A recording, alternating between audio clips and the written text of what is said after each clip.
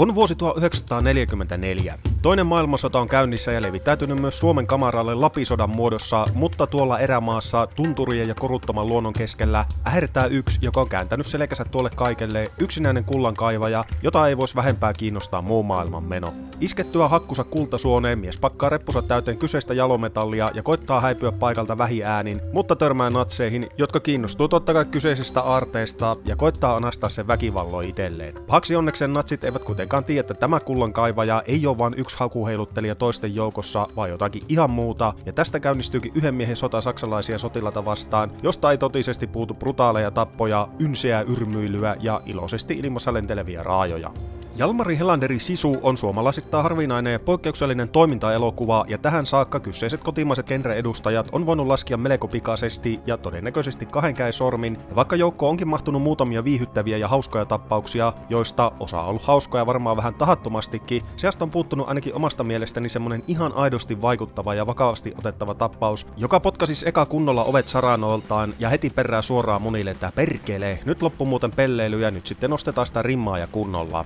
Tai siis on puuttunut tähän asti, sillä Sisu on käytännössä just tuo elokuva, joka Suomen elokuvakentältä on tähän saakka puuttunut, ja vaikka osa senkin esikuvista on helposti nähtävissä, kyseessä on silti omaleimainen ja väkevä tappaus, joka on samaaikaisesti sekä erittäin viihyttävää että myös vaikuttavaa, ja toimintapläjäys, joka seisoo täysin rintarinnan genre ulkomaisten edustajien kanssa, tai oikeastaan jopa aika monen edellä. Vaikka sisu sijoittuukin oikea sodan aikaan ja ympäristöön, perinteisten kotimaisten sotaelokuvien kanssa sillä ei ole juurikaan tekemistä rekvisiittaa ja asustusta lukkuottamatta, ja esikuvina ovatkin toimineet selkeästi Rambo ja Die Hardien kaltaiset tappaukset, jotka tarjoaa tasaisin väliajoin niin tanakkaa toimintaa, tuimaa tuijottelua kuin tummaa huumoriakin, mutta sisun kohdalla kyse ei ole kuitenkaan mistään apinoinnista, vaan noista genren klassikoista on poimittu toimivimmat jutut ja yhdistämällä ne suomalaiseen kuvastoon ja ympäristöön, aikaa osatu mukavan persoonallinen ja No, suomalainen keitos, joka tuntuu samaaikaisesti sekä erittäin tutulta että myös raikkaalta vaihtelulta, eikä tosiaan vähiten siksi, että vastaavia kotimaisia tuotoksia ei ole ollut tarjolla turha usein.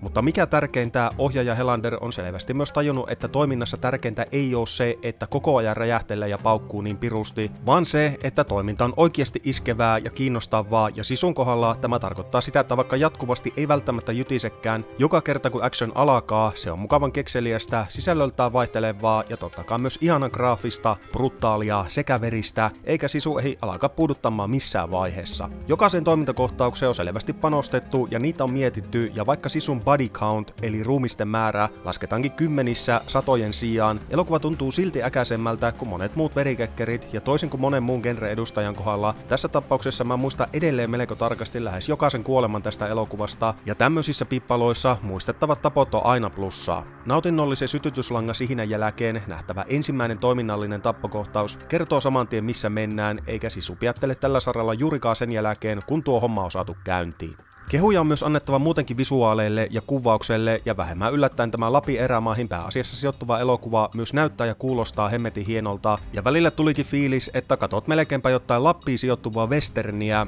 olisiko se oikea termi nyt sitten Northern, sillä elokuva herkuttelee välillä niin näyttävästi nuilla huluppeilla maisemilla. Kaiken muun tappaa myös visuaalit ovat niin ikään tyylikkäitä, mutta myös karun koruttomia, ja kaikki, niin tapahtumapaikat kuin hahmotkin, ovat selvästi samaaikaisesti riehuva sodan runtelemia, ja lähes kaikkialla mukavan paskasta ja likasta, joka on vaan omiaan lisäämään sisu outoa viehätystä. Kotimaiselle toiminnalle on ollut toisinaan hieman ominaista tietynlainen kömpelyys, mutta sisun kohdalla tästä ei tarvitse huolehtia, ja kuten sanottua, touhu ei häviä kansainvälisessä vertailussa tippaakaan, eikä sekään mahtunut ensimmäistäkään tyylirikkoa tai töpeksintää, joka olisi pistänyt vähän silmään tai irvistelemään. Kaikesta näyttävästä toiminnasta huolimatta tämänkaltaisille elokuville elintärkeää on myös hyvä päähahmo ja Sisu naulaa homma myös tällä saralla. Kullankaivajan roolissa nähtävä Jorma Tommila istuu Sisun luomaan maailmaan kuin hakkukalloon ja tämä kirveellä veistetty Jöröjukka on just semmonen action-hahmo, jonka voisi kuvitella näkevänsä nimenomaan suomalaisessa toimintaelokuvassa. Tämä ukkeli ei turhia porise, valita tai heitä vitsiä, vaan eteenpäin mennään hammasta purre vaikka läpi harmaan kiven ja henkseleiden paukuttelun sijaan ukon renkaiden pumppaaminen ja menneisyydenkin avaaminen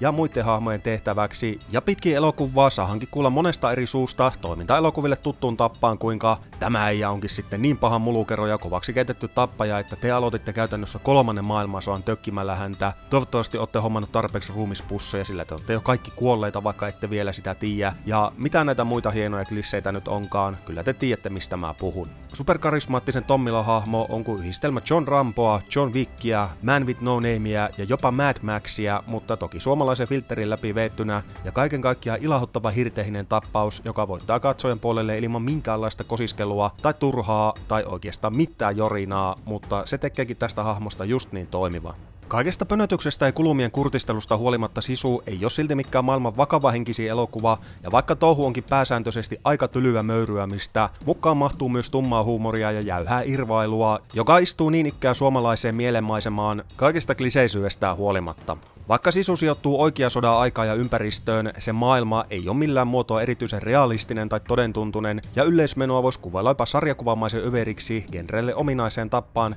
eikä tämä ole tosiaan niitä elokuvia, joilta kannattaa otella mitään todenmukaista sotakuvausta tai muutenkaan haudan vakavaa touhua ympäristöstä ja aikakaudesta huolimatta. Ironista kyllä, niinä hetkinä kun sisu haluaa vakavoitua ja olla dramaattinen, touhu meinaa lipsahtaa välillä hieman tahattoman kommikan puolelle, ja omalla kohdallani tökkivät ajoittaa vähän liiallinen, vakava toljottelu ja vieläpä hidastuskuvat tuosta, joka tuntuu vähän oudolta ratkaisulta muuten niin hyvin rullaavassa paketissa, enkä mä ole ihan varma, että tarviko tää elokuva lopulta noita Tarantino-tyylisiä kappalejakoja kohtausten välillä, mutta todettakoon nyt, että nämä vähäisetkin motkotuksen aiheet olivat kuin pisara meressä tässä kaiken muun touhun keskellä. Kokonaisuutena Sisu on heittämällä paras kotimainen elokuva, mitä on nähnyt ainakaan muutamaan vuoteen, mutta myös yksi ylipäätänsä parhaista toimintaelokuvista, mitä muista ihan hetkeen nähneeni, eli ilman mitään suomilaisejakin kyseessä on erittäin onnistunut tappaus, jota on helppo suositella jokaiselle toiminnan näläkäiselle elokuvien ystävälle, ja vaikka se onkin ottanut selvästi vaikutteita vähän sieltä sun täältä, parasta Sisussa on se, että kaikesta huolimatta se on silti erittäin persoonallisen tuntunen ja identiteetiltään vahvasti suomalainen, ja tämän luulisi toimivan myös eksoottisena houkuttimena ulkomailla, jossa se on otettu toista toistaiseksi vastaa erittäin hyvin ja jonne sitä ollaan viemässä kuulemma kovalla tohinalla vielä enemmänkin. Sisulta ei kannata odottaa mitään maailmanmullistavaa tarinaa tai järisyttäviä yllätyksiä, mutta toisaalta se tietää tasan tarkkaan tehtävänsä ja noin puolitoista tuntia tämmöstä nakit ja muusin menoa on just sopiva kesto ja luojan kiitos elokuva ei ole lähdetty venyttämään tai paisuttelemaan turhaa, vaan se pysyy ruodussa alusta loppuun saakka ihaltavan ryhdikkäästi ja tää on myös yksi niistä elokuvista, jonka suosittelen kyllä vilikaseen elokuvateatterissa paitsi tuon jytisevän toiminnan, mutta myös totta kai noiden upeiden maisemien ja kuvausjäljen takia. Vaikka ollaan vasta helmikuun alussa, on helppo sanoa, että kyseessä on varmasti yksi vuoden kovimmista elokuvista ja se taitaa kertoa sisusta jo ihan tarpeeksi.